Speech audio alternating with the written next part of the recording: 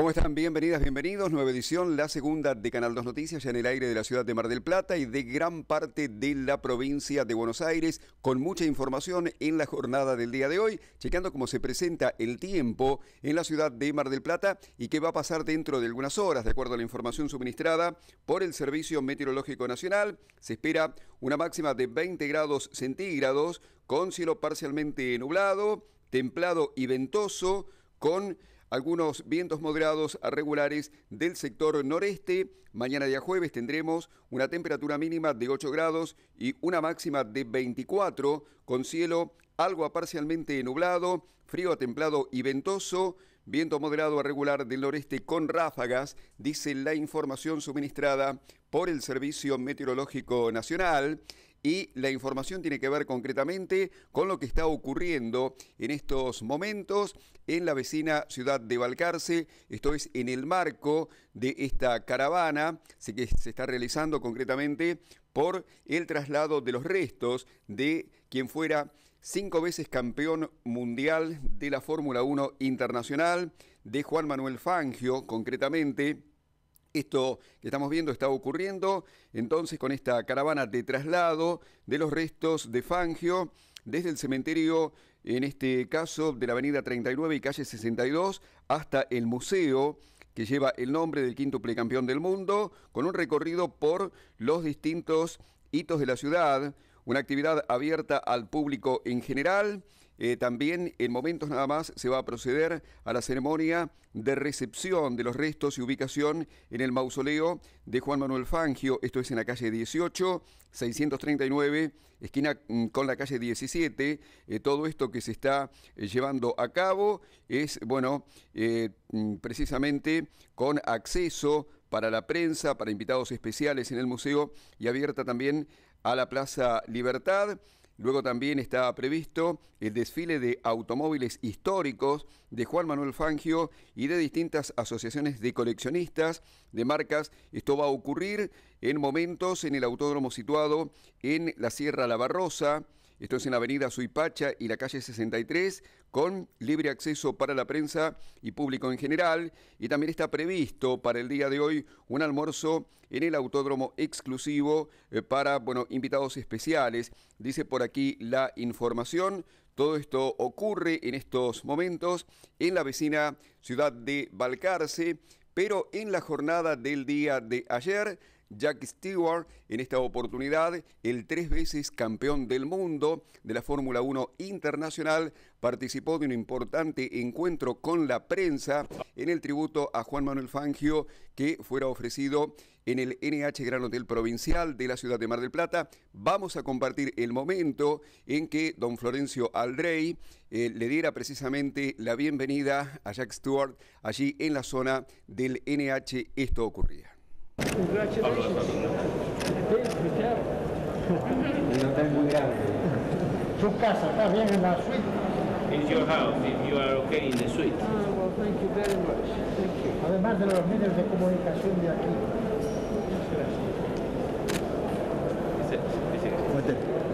Bueno, un gusto tenerte acá al hombre más importante del mundo. It's a pleasure to have you as the guy most important in the world.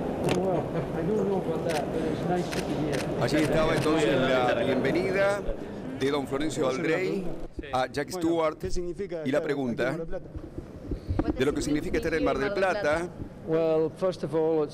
antes que todo, dice que es un placer, que disfruta todo el tiempo estar aquí, que se siente afortunado, entre otras cuestiones, de haber conocido a una persona como Juan Manuel Fangio.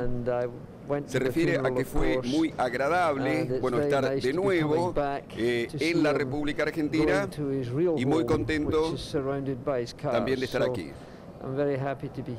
Ahí está la parte de la respuesta. particular, la última, el día de su fallecimiento, eh, pudo llegar a, a Balcarce y tuvo que hacer mucho para llegar acá. Hace referencia a la anécdota que consiste en que debió bajar en Brasil oportunamente por cuestiones técnicas del avión. El avión llegaba demorado a Buenos Aires y merced a la gentileza de Constancio Vigil, llega finalmente a Balcarce prácticamente sobre el cierre del funeral. Uh, Agrega, bueno, más conceptos elogiosos a la figura de Juan Manuel Fangio. Dice que, imaginó que nunca imaginó que un funeral, eh, bueno, en esta oportunidad estuviera con tanta gente tan conmovida al momento de la muerte del corredor. Allí la palabra entonces de el tres veces campeón del mundo, Jack Stewart, que en esta oportunidad estuvo en la tarde-noche del día de ayer, allí en el NH Gran Hotel Provincial de la ciudad de Mar del Plata, donde compartió también una conferencia de prensa que fue abierta en esta oportunidad por la pregunta de nuestro compañero de tareas Juan Pablo Mozo por Canal 2 Noticias, aquí ese momento. Creo que todos, todos los que han ganado un campeonato mundial desde Fangio, a, todos les gustaría creer que, que han hecho un, eh, un trabajo tan bien como lo ha hecho él, porque a veces el límite con el que Fangio, el que, Fangio podía encontrar como, lo, como, como fue la carrera de Nürburgring cuando venció a Collins y a, a, los otros pilotos británicos del momento, no recuerdo el nombre. La carrera que tuvo ese día fue quizás una de las mejores carreras de la historia de la historia del deporte del automovilismo y la más difícil pista de carreras del mundo. 147 curvas por, por vuelta. Y él pudo vencer a todos de forma tal que fue, eh, la verdad, impresionante. Para mí, una de las mejores cosas en una pista de carreras fue cuando yo gané el Grand Prix de Mónaco para en la Fórmula 3. Era muy joven y no tenía experiencia. Y cuando llegué a una parada, después de que había hecho la vuelta de desalerización, el hombre que vino y me, y me dio la mano fue Fangio. Y yo no podía creerlo. No podía creer que eso me estaba pasando a mí, que era él quien me estaba felicitando a mí por haber ganado en un auto de Fórmula 3. Pero él se tomó la molestia de hacer eso. Ese es el hombre del que ustedes deben estar orgullosos. Mi relación con él fue, la disfruté mucho. Y una vez él estaba en Roma y yo me quedé con él y manejamos para recibir un premio que me iban a dar a mí. En, manejamos por toda Italia, él manejó y yo, él manejó de ida y yo manejé de vuelta. Yo estaba muy nervioso al manejar al lado de Juan Manuel Fangio, les puedo decir. Así que la amistad que yo tenía no tenía, eh, no tenía idioma, porque yo no podía hablar su idioma y él no podía hablar mi idioma. Teníamos un intérprete, un gran amigo de él que nos ayudaba, pero no importaba, porque él tenía tanto encanto y, y cuando te explicaba algo, casi no importaba si hablaba en inglés o en español. Así que eh, no, no, no, puedo exagerar, no puedo decir más. Eh, yo creo que él era el mejor, que él fue el mejor hombre con el que he formado una amistad en el automovilismo y he tenido muchos buenos amigos. Jim Clark, un gran hombre, Johan Graham fue un gran amigo. Lamentablemente, la mayoría de ellos murieron en, en automovilismo, conduciendo autos de carrera. Juan Manuel Fangio no. Y yo tengo mucha suerte de tampoco haber muerto en un auto de carreras. Por lo tanto, es una relación que siempre voy a llevar en mi mente y, una, una relación muy importante en mi vida. Y es genial que me hayan dado el honor de haber venido hasta aquí para hacer lo que está sucediendo hoy. Creo que es algo grandioso lo que ustedes han creado y tener este evento con gran exposición por la internet y en, todos los rincones del mundo están viendo esto. Su país puede estar muy orgulloso de eso y él lo llevó con tanto estilo que no puedo no, no, creo que nadie más en el futuro pueda lograrlo o pueda ni pueda acercarse a lo que él logró Así que él aún vive, por lo menos para mí, él todavía vive y es un gran ejemplo. Y yo en general pienso, cuando tengo que hacer algo o decir algo, pienso, ¿qué hubiese dicho Fangio? ¿Qué hubiese hecho Fangio? Y eso tiene un efecto en mí que es, que es muy bueno. Y creo que Stirling Moss podría decir lo mismo. Si él estuviese aquí hoy, Stirling Moss diría, no, no diría nada más que alabanzas para Juan Manuel Fangio. Así que ustedes tienen mucha suerte de haber tenido un hombre como él en sus vidas. Y aunque no lo hubiesen conocido en persona, el hecho de que él es argentino y de que para mí todavía está vivo en muchas formas, diversas formas. Para mí él es un gran ejemplo eh, eh, que, tienen ustedes hoy eh, y por eso están haciendo esto especial para reconocer este hombre de forma que creo que es única.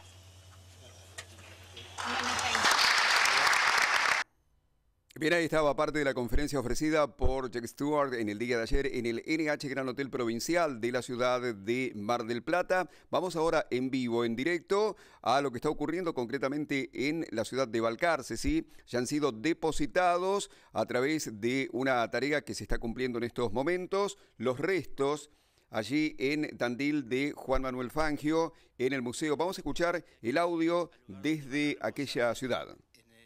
Para toda la eternidad en el lugar donde después lo pondremos, pero en este momento y en este lugar, para que todos podamos participar de esta oración, los invito a hacerlo. Y es una oración que hacemos los católicos, justamente por que él era católico.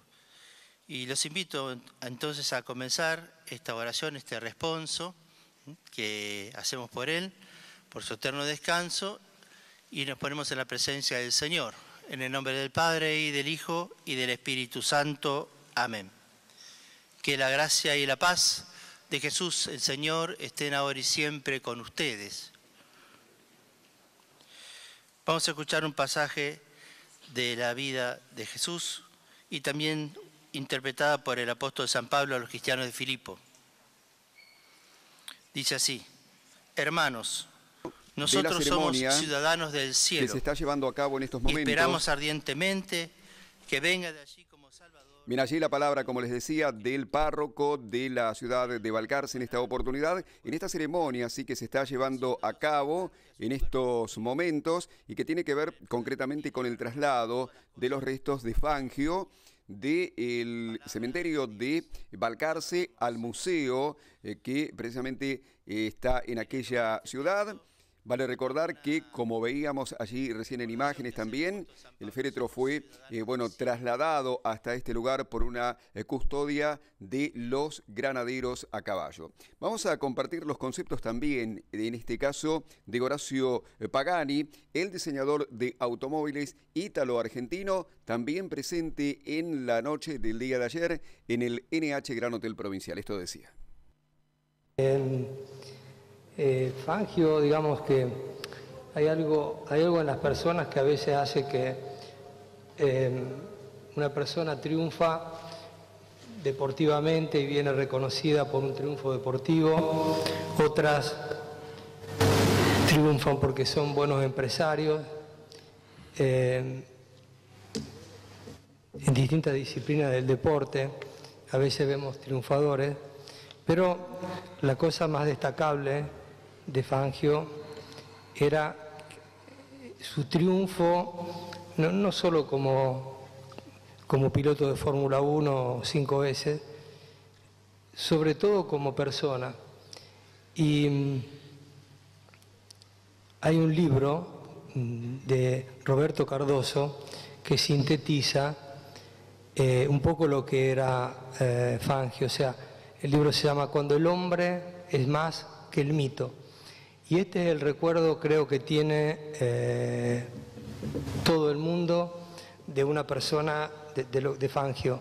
El respeto, como dijo Jackie, el respeto que tienen también todos los, los demás pilotos, eh, la veneración que todos los pilotos, incluso de su época, tenían por, eh, por Fangio. personalmente, tengo solo que agradecerle realmente tanto, de, haber sido un poco un mentor para mí, una persona que cuando yo tenía 27 años, eh, gracias a una llamada de Oreste Berta, otra persona extraordinaria, pude encontrarlo en Mercedes, en Buenos Aires, para contarle que yo quería ir a, trabajar a Europa, que quería trabajar, trabajar con los autos deportivos, que era mi pasión, y él em, en ese momento a una persona completamente desconocida eh, le dice, voy a, voy a hacerte una carta de, algunas cartas de recomendación. Dice, es la segunda vez que lo hago y la primera vez no me equivoqué y esta va a ser la segunda vez. Y me hizo cinco cartas para encontrar eh, a Enzo Ferrari, para encontrar a eh, Carlo Chitti de Alfa Romeo, eh, de Tomaso, Osela y el ingeniero Alfieri de la Lamborghini, que cuando trabajaba en Maserati había hecho la Maserati con la cual Fangio, eh, Fangio, corría. Y, y, no se equivocó. Eh, no sé, pero digamos que eh, con estas cartas llegué y, y, estas cartas las miro siempre y tengo la foto de Fangio, tengo que subir a una escalera para ir a mi oficina y está siempre ahí y la luz no se apaga, o sea, la luz está prendida las 24 horas, así que eh, cuando subo, me lo, él me controla. Bien, ahí estaba otro de los expositores en la noche de ayer entonces en el NH Gran Hotel Provincial de la ciudad de Mar del Plata, Horacio Pagani, en este caso, bueno, el diseñador ítalo-argentino de automóviles. Vamos con otra imagen de lo que está ocurriendo precisamente allí en la ciudad de Balcarce. Ya fueron eh, trasladados los restos de Juan Manuel Fangio del cementerio de esa ciudad a la parte del museo eh, Juan Manuel Fangio de la ciudad de Balcarce. Están presentes distintas autoridades. Lógicamente también, como podemos observar, el féretro está flanqueado por eh, granaderos a caballo que, eh, bueno, trasladaron concretamente el féretro desde el automóvil que los trajo concretamente desde el cementerio hasta este lugar. Allí está hablando el párroco de Balcarce haciendo un responso respectivo. Eh, también está presente, obviamente, el intendente Reino y otras personalidades también a nivel nacional y obviamente por allí eh, también va a aparecer de algún momento a otro. Eh, esta persona que estuvo en el día de ayer, me estoy refiriendo al señor Jack Stewart, que estuvo aquí en la ciudad de Mar del Plata eh, y que tiene un gran reconocimiento entonces por la persona de Juan Manuel Fangio. Eh, con este tributo, este homenaje a los 70 años de la obtención de su primer eh, título dentro de la Fórmula 1 internacional. Vamos a otro de los temas porque están buscando aproximadamente unos 60 guardavidas que sepan hablar muy bien inglés, entre otras condiciones, para ir a trabajar a Dubái, concretamente en el marco del próximo Mundial de Fútbol en Qatar. Tenemos más detalles. Sí, exactamente. La verdad es que estamos con, muchas búsquedas este, de caras al Mundial a Qatar 2022 y, bueno, estamos emprendiendo ahora una búsqueda masiva de guardavidas, acá arrancando en la ciudad de Mar del Plata, pero lo vamos a hacer extensible a todo, a todo el país. Y bueno, estamos en este momento buscando 60 guardavidas y mm, para un proyecto muy, muy importante en Qatar, es un hotel que al lado del hotel hay un parque acuático, así que es un proyecto, mega proyecto y, la verdad que están buscando este, las empresas contratantes, que son las empresas de Qatar, buscan perfiles en Latinoamérica y bueno, nos encomendaron a nosotros esta, esta búsqueda. Bueno, lo principal que, surge es eh, cómo, cómo se llega hasta allá, qué requisitos hay que tener, si se puede hablar de sueldo, de lo que nos pueda dar a conocer. Sí, por supuesto. A ver, para aplicar este, las condiciones para esta posición en particular es tener un muy buen nivel de inglés, un nivel fluido, porque si bien la lengua oficial en el país es el árabe, eh, la lengua en común o la lengua donde el idioma que se habla en los eh, negocios, en la calle y demás es el inglés. Entonces tener un nivel de inglés fluido es como condición excluyente. Luego tener para los guardavidas es la certificación. Y, bueno, nosotros hacemos la primera entrevista, que las hacemos en inglés, y, si vemos que el perfil del candidato cuadra con lo que está buscando el hotel, que en este caso es, un hotel, el Hotel Hilton, eh, le, le enviamos los currículums a la empresa y la empresa hace luego dos o tres entrevistas más. Así que todo el proceso demora más o menos entre dos, y, dos meses y dos meses y medio, hasta desde que la persona es hasta que puede viajar. Perfecto, esto estamos hablando para qué fecha estimativa de viaje, mayo del año que viene o ya muy pronto. No, no, esto es para, allá porque el hotel está abriendo en febrero, marzo del año que viene, así que quieren tener ya la gente allá este, en, Qatar para el mes de enero. Con respecto a los eh, sueldos que me habías eh, preguntado, estos varían, pero bueno, aproximadamente están en unos 450, 500 dólares netos, eh, pero lo interesante de todas estas propuestas es que las empresas contratantes cubren todos los gastos, es decir, cubren los gastos de eh, los pasajes, es decir, inicio del contrato y finalización del contrato, cubren el alojamiento, cubren las comidas, cubren el transporte, cubren los gastos de visado, eh, cubren los tickets para las vacaciones y las vacaciones son pagas. Es decir, esos 450 o 500 dólares que le queda al empleado les quedan este, limpios porque no tienen ningún tipo de gasto. Y con lo bueno de este, estar en el Mundial, porque cualquier persona que, que inicia ahora, en los próximos meses que pueda viajar, los contratos son de mínimo un año, así que puede ser un año, dos años o tres años lo que quiera quedarse la persona en, Qatar y va a poder pasar por el, por el Mundial también. Toda la actualidad informativa, como siempre, en esta segunda edición de Canal 2 Noticias, comienza en la jornada del día de hoy el operativo para eh, dar concretamente la tercera dosis contra el COVID-19 en el partido de General Pueyrredón. Nuestra compañera de tareas, Ángela Damboriana, dialogó hace momentos nada más con Mariela Salinas en un vacunatorio de la ciudad. Esto nos decía. Sí, ya arrancamos hoy, bueno, acá es la primera vez que, pero creo que en simultáneo con los otros vacunatorios a partir de hoy, con las terceras dosis ya, sí. Increíble, ¿no? Sí, increíble que ya haya llegado esta etapa, ¿no? Sí, la verdad que sí, bueno, teniendo en cuenta que hay abundancia de vacunas, a Dios gracias no nos hemos quedado, no nos, no nos hemos visto desprovistos. Y bueno, nada, se decidió dar una tercera dosis adicional. Si bien las dos primeras dosis, el primer esquema este, ha funcionado muy bien, pero bueno, como hay vacunas se, decidió reforzar más que nada.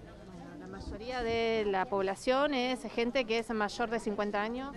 No, en realidad primero eh, es por turno, o sea, sin turno no se van a dar, no se van a aplicar, la gente tiene que tener paciencia, sobre todo que ya cuentan con el esquema completo, así que bueno, a esperar ahora que les llegue el turno y en principio es eh, de entre 18 a 49 años con algún tipo de patología y de 50 ya sin patología este, van a estar llegando este, los turnos eh, para todas y todos. Bueno, a diferencia de lo que fue los turnos para la primera y segunda dosis, hoy se nota que muchos no han querido perderse en la tercera dosis.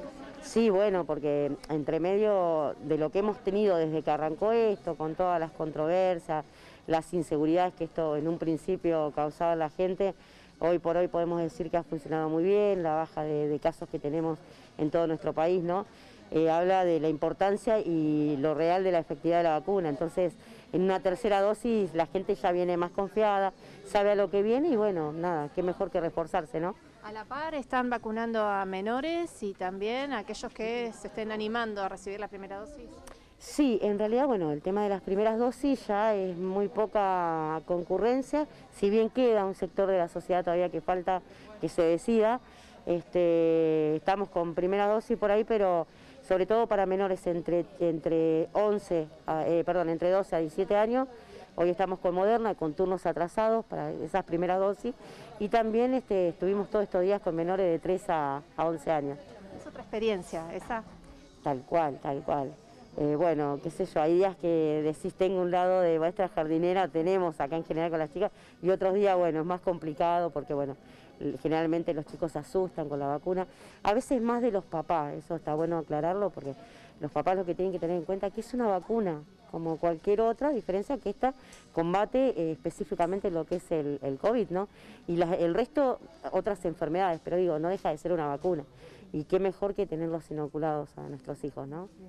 Bueno, para aquellos que reciben la tercera dosis, ¿no es del mismo laboratorio que han recibido? ¿Puede ser o no? Eh, no, en general ya viene este, especificado en el turno, o sea, es decir, en la turnera, ya viene el turno con qué vacunas se, se tienen que aplicar, digamos. Eh, solamente están habilitadas las primeras dosis de Sputnik y las AstraZeneca. Y sí, son combinadas. Por ahí la gente lo que tiene que tener en cuenta es que es mejor la combinación porque eso eh, hace trabajar más lo que es nuestra parte inmune y, hace que tengamos este, anticuerpos más rápido tal vez también. ¿Cuántos vacunados van ya? Y ya estamos rondando los 130.000 vacunados, así que sí, la verdad que es un número impresionante, que no lo pensamos a diario, pero cuando nos preguntan como ahora, digo, no sé, estamos como felices, ¿no? Y, y hasta acá, a ver, no sé, atendido a tanta cantidad de gente. Sobre todo que estén inoculados, como decimos siempre, creo que esa es la tranquilidad más grande y bueno, el orgullo que sentimos también, ¿no? Bien, sobre esta primera jornada de este arranque, este comienzo, sí, de la primera, la tercera dosis, perdón, en el partido de General Pueyrredón, vamos a tener más detalles en la tercera edición de noticias a partir de la hora 19. Otro de los temas que está referido concretamente a la inoculación a través de este título, ya se aplicaron más de 900.000 dosis contra el COVID-19 en Mar del Plata. Las personas inoculadas con una dosis son más de 500.000, mientras que casi 380.000 personas recibieron la segunda inyección. Mientras tanto, la ciudad se encamina al millón de vacunas recibidas oportunamente. Ya vamos a tener más detalles sobre este tema. Ahora nos referimos concretamente a las distintas obras en las escuelas del partido de General Pueyrredón, desde eh, obras públicas de la municipalidad local, se refieren concretamente a que están en tiempo y forma respecto de los distintos plazos administrativos para la ejecución de los trabajos que se están realizando oportunamente de acuerdo a lo establecido oportunamente con la provincia de Buenos Aires. Jorge González, secretario de Obras Local, esto nos decía. Sí, fuimos convocados a la, Comisión de, Educación del Consejo. Es un requerimiento que habían hecho hace dos semanas atrás eh, por el reclamo de las comunidades de, algunos establecimientos de jurisdicción provincial que el municipio, este, a través de actas, acuerdos con la provincia, y a pedido de la Dirección de Infraestructura de la provincia en escuelas es que asumimos el compromiso con esas obras, algunas este, que ya están en marcha, que fue un acta acuerdo firmada en diciembre del año pasado, este, cuyo trámite se vio demorado porque la, documentación que provincia nos acercó en primera instancia no era la, que, la, requerida para poder llevar adelante una licitación, así que el municipio además tuvo que generar la documentación técnica necesaria, hacer el llamado a licitación, cumplir con la normativa vigente y ya hay dos de esas tres obras que están en marcha y otras cuatro, eh, la tercera se va a hacer en pocos días, y otras cuatro que están en el ámbito del EMSUR, este, del ente de servicios, cuya acta se firmó en el mes de junio y que esperemos en las próximas dos semanas este, estén adjudicadas y ya las obras en marcha. Esa es la explicación entonces de por qué hay, hay, obras que por ahí sufren pequeñas demoras y, y los concejales que precisamente lo convocaron a ustedes lo entendieron. Sí, a ver, yo creo que la explicación no es tanto para los concejales que son conocedores del, tema administrativo este, y forman parte del, legislativo en el municipio, sino más que nada llevarle una, respuesta a las comunidades educativas de cada uno de esos establecimientos, eh, estaban presentes, este, darle la certeza de que el municipio, lejos de, no cumplir con los compromisos, todo lo contrario, inclusive ha asumido el pago de anticipos financieros con dinero municipal antes de que lleguen las partidas de provincia para no demorar el inicio de esas obras, pero como bien se explicó ahí, el trámite administrativo normado en la provincia de Buenos Aires, al cual nosotros nos debemos apegar, más allá de eh, agilizar la gestión, em, tiene tiene estos, estas cuestiones y que obviamente ante la incertidumbre, creo yo, de los tiempos que estamos viviendo, eh, un poco marcados por la pandemia, otro por la falta de presencialidad en las escuelas, hace que eh, se entienda como una demora que no es otra cosa que cumplir con el trámite administrativo. Vamos con el siguiente título. A través de la página web del diario La Capital está referido concretamente a que una canasta navideña en esta oportunidad eh, de tipo austera cuesta más de un 40% que el año pasado. Este dato surge de un relevamiento realizado por Liga de Amas de Casa. Una cena tradicional de las fiestas de fin de año puede costarle a una familia tipo entre 5 y 9 mil pesos, dice la información, que seguramente va a ser ampliada Toda la actualidad informativa, como siempre, en esta segunda edición de Canal 2 Noticias, de lleno ya al próximo día domingo 14, en el marco de las elecciones, Gustavo Pulti y Carolina Castro por el Frente Vamos con Vos en conferencia de prensa en la jornada del día de ayer y los temas puntuales a destacar. Estuvimos recorriendo, estuve en Bahía Blanca y hoy aquí en Mar del Plata con todo el equipo, como decía Gustavo, muy conforme con el trabajo que venimos realizando, muy conforme con la eh, con la posibilidad de generar una alternativa política, que es una alternativa hoy electoral a, días de la elección, pero que se plantea con un horizonte también hacia el 2023. Vamos a seguir creyendo en este espacio porque creímos en este espacio desde el inicio.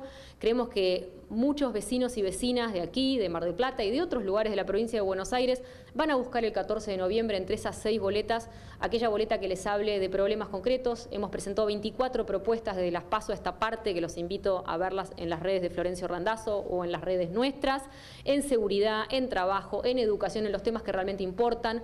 Sabemos que ha sido una, campaña electoral vacía en términos de propuestas, que las dos fuerzas políticas hegemónicas han estado capaz hasta incluso chicaneándose o poniendo arriba de la mesa un debate que no es el debate que la ciudadanía necesita. La ciudadanía necesita saber cómo salimos de, eh, de este estancamiento en el que estamos hace 10 años, cómo vamos a resolver la inflación. Nosotros tenemos propuestas sobre eso. Creemos que en el Congreso Nacional las fuerzas políticas tienen que ser muy responsables porque no podemos esperar al 2023 y tenemos que empezar a debatir desde ya cómo vamos a frenar la inflación. Tenemos un plan, que es un plan de estabilización cambiario, monetario y fiscal que vamos a llevar al Congreso. Queremos hacer un verdadero acuerdo de precios y salarios entre empresarios y trabajadores, pero esa mesa de diálogo social no se puede convocar si no hay un plan económico y hoy el gobierno no tiene un plan económico. Lamentablemente no lo tiene. Dentro de unos días vamos a ver el índice de inflación de octubre que va a mostrarnos que la inflación está en el 50% anual. Y con este nivel de inflación eh, la Argentina no puede crecer. Entonces necesitamos resolverlo. Somos una alternativa electoral, eh, creo, eh, pragmática, moderna, que viene con voces nuevas. Yo soy empresaria industrial, doy trabajo a 540 personas en la provincia de Buenos Aires, en Zárate y Almirante Brown, y Randazo me invitó a acompañarlo porque cree que la voz de la producción y del trabajo tiene que estar presente en el Congreso Nacional y que el éxito de un gobierno se tiene que medir en su capacidad de generar trabajo. Y nosotros todos estamos de acuerdo en, en esa visión. ¿no? Gustavo, ¿le puedo hacer alguna más? Eh, respecto a lo que fue las elecciones PASO, que usted inclusive fue muy autocrítico a la hora de hablar en las primeras horas, ¿cómo, cómo piensa que va a ser las próximas elecciones en cuanto a resultados, si va a haber mayor participación y a dónde apuntan? Yo creo que la elección es el 14 de noviembre. Las PASO hubo 30 boletas en el cuarto oscuro, fue una etapa preliminar, la definición es el 14 de noviembre y el 14 de noviembre los vecinos y las vecinas del Partido General Porredón, de Mar del Plata y de Batán se aprestan a tomar una decisión. Nosotros queremos un equipo fuerte defendiendo los intereses de Mar del Plata, mirando hacia los barrios, hacia todos y cada uno de los barrios, hacia el trabajo y hacia la producción, hacia la educación, hacia la salud, hacia la seguridad democrática. Queremos una policía cercana que respete los derechos y que nos cuide. Y queremos capacitaciones masivas en oficios. Eso es lo que van a hacer nuestros concejales en el Consejo Deliberante. Eso es lo que van a hacer los concejales de Acción Marplatense.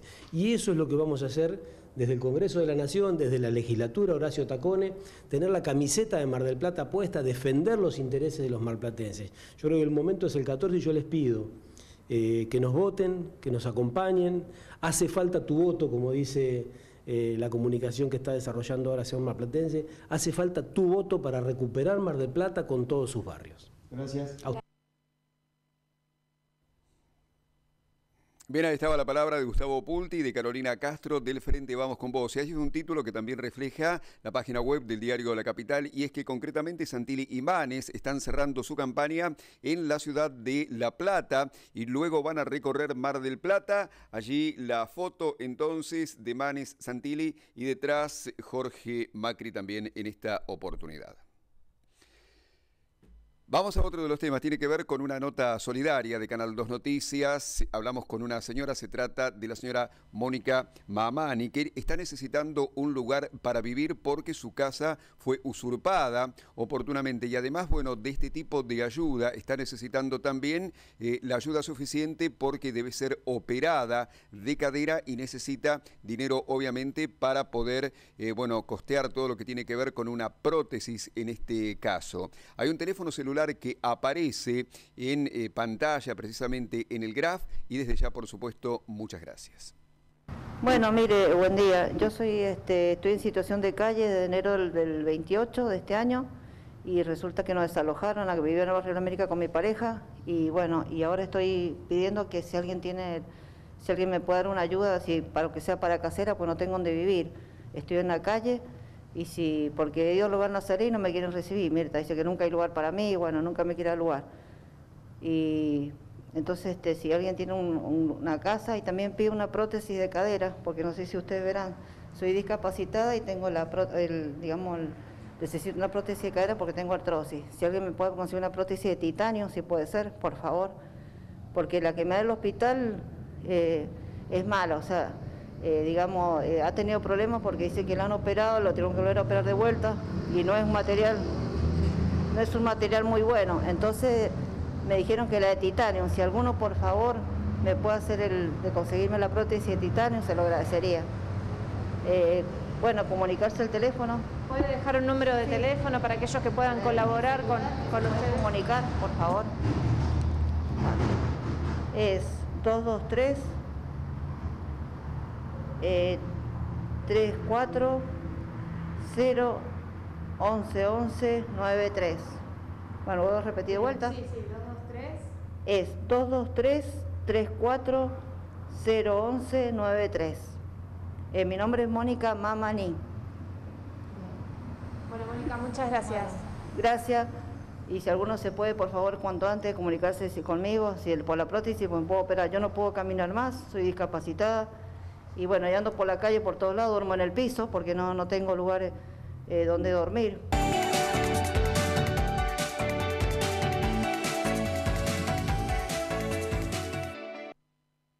Vamos a Tandil con la información del ámbito zonal en esta oportunidad con detalles del programa denominado Mi Pieza para fortalecer la eh, construcción sociourbana. Tenemos más detalles y que tiene que ver con seguir trabajando, este, fortaleciendo lo que es la integración urbana de los barrios populares, que son los barrios del RENAVAP, censados por ley, que son más de 4.000 barrios en todo el país, de los cuales se forman polígonos, que son fracciones de lote, de tierras, perdón, donde hubo asentamientos en algún momento de todos estos años y ahí se empezó a trabajar en lo que es la integración fundamentalmente de condiciones básicas de habitabilidad, que son servicios o mejoramiento habitacional.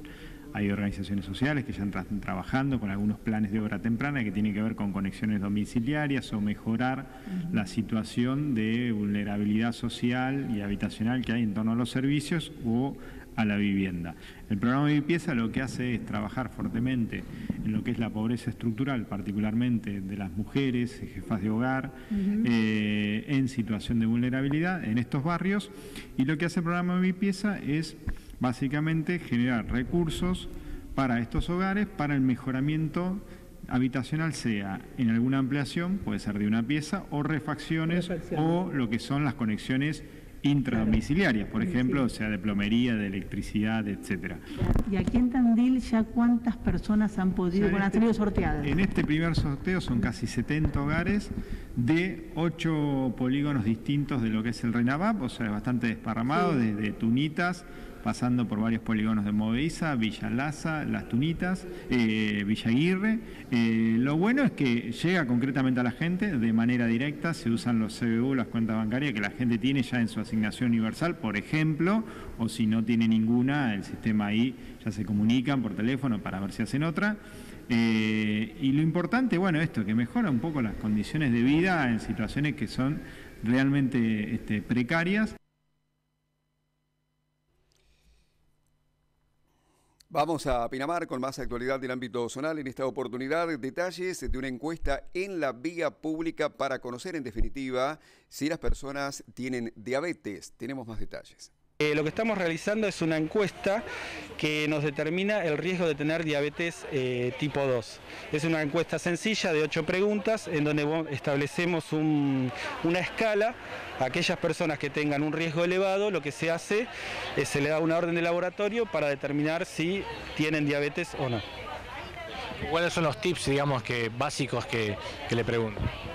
Y está relacionado con la edad, con el peso, con el perímetro de cintura, después con los antecedentes familiares, si tienen diabetes, si tienen familiares con diabetes tipo 2, eh, y después antecedentes de hipertensión.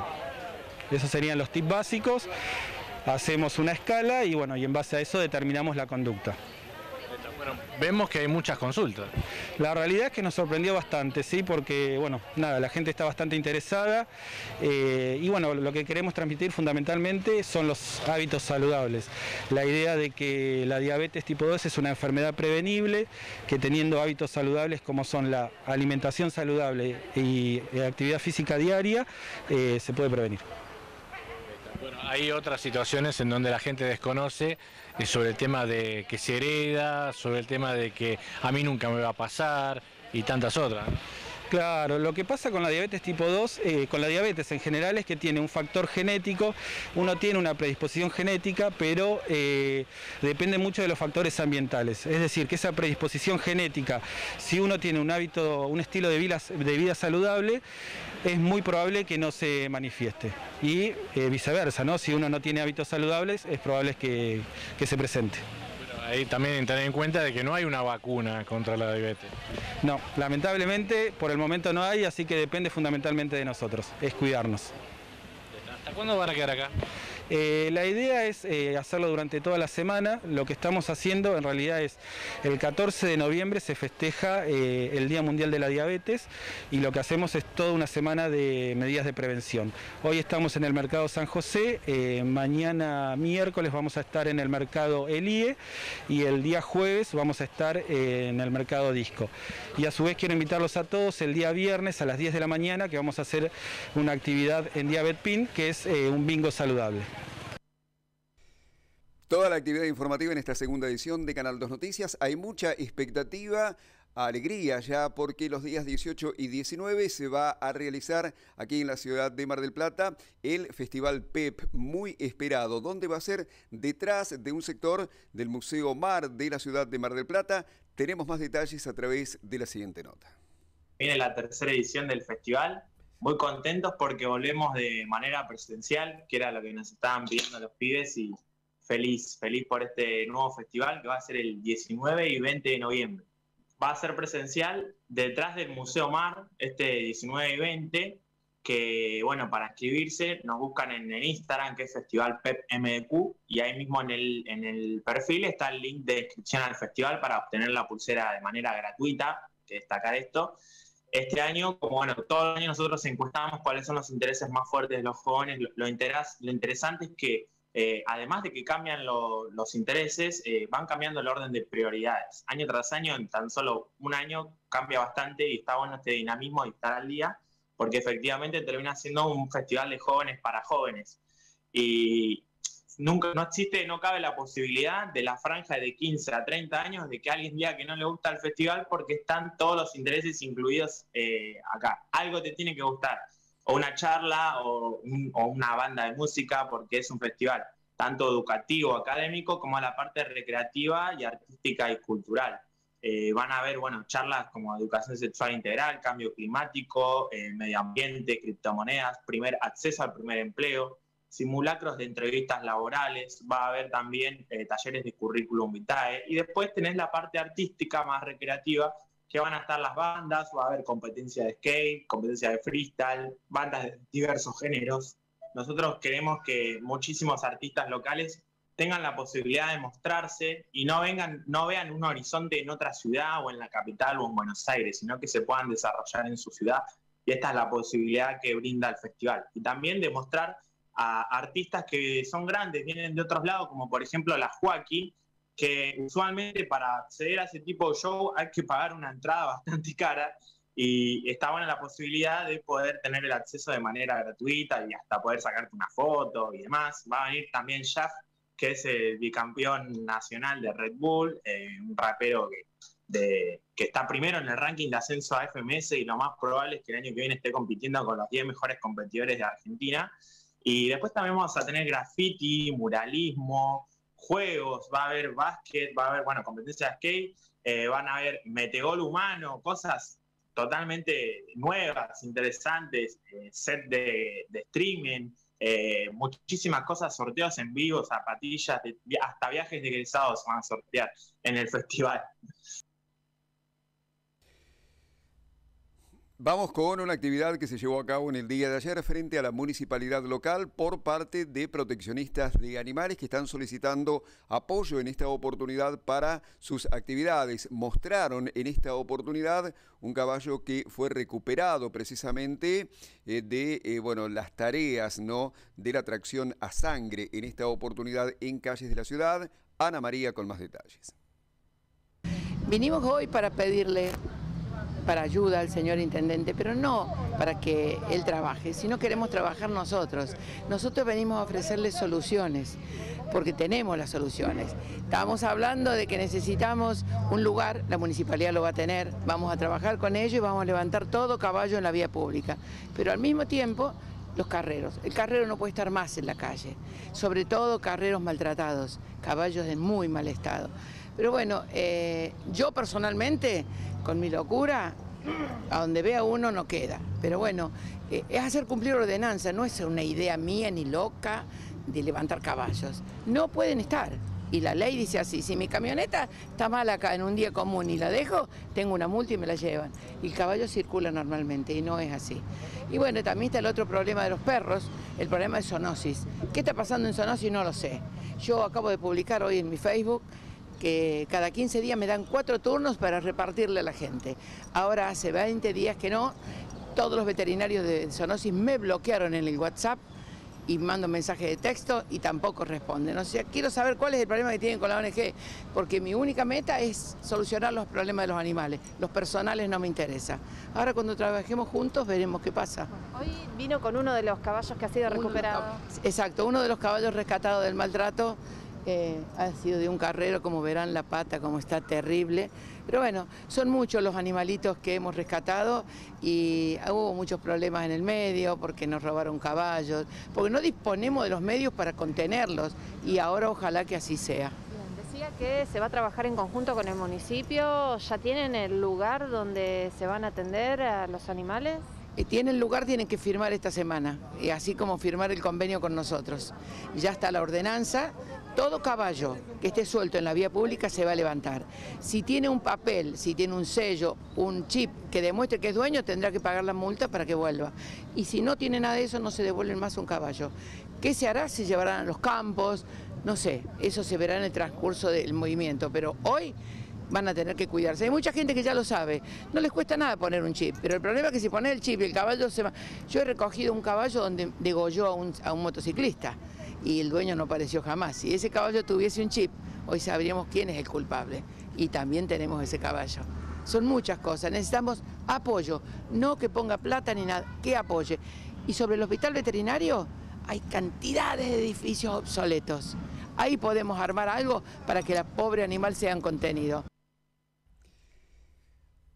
Bien, punto final para esta segunda edición de Canal 2 Noticias con el pronóstico del tiempo para Mar del Plata, para la zona, con la información ya en pantalla. De acuerdo a lo que dice nuestro meteorólogo, cielo parcialmente nublado, templado y ventoso, vientos moderados a regulares del norte con ráfagas, máxima prevista 20 grados centígrados. Vamos a ver qué va a ocurrir con el extendido que va a pasar a partir de la jornada de mañana día martes. Ahí está, 8 de mínima, 24 de máxima. Para mañana jueves, perdón. Para el viernes, 9 de mínima, 23 de máxima. El sábado, 10 de mínima, 24 de máxima. Y el domingo, 13 de mínima, 19 de máxima, pero con lluvias, dice por allí nuestro informe, a través del cual vamos a la zona para ver qué pasa hoy, por ejemplo, en Tandil. Máxima prevista 24 grados con cielo parcialmente nublado, 20 para Miramar y Necochea y también 21 grados en este caso para Pinamar, dice por aquí la información. Punto final, gracias como siempre por habernos acompañado, nos estamos despidiendo y nos vamos a reencontrar, Dios mediante, en las distintas ediciones de Canal 2 Noticias, 8 de la mañana, 11.30 a las 15, a las 19 y a las 23, con Cristina y con Juan Pablo, y por supuesto a través de canal2mdp.com.ar para que nos sigas a través de cualquier dispositivo electrónico. Gracias otra vez, muy amables, será hasta cada momento.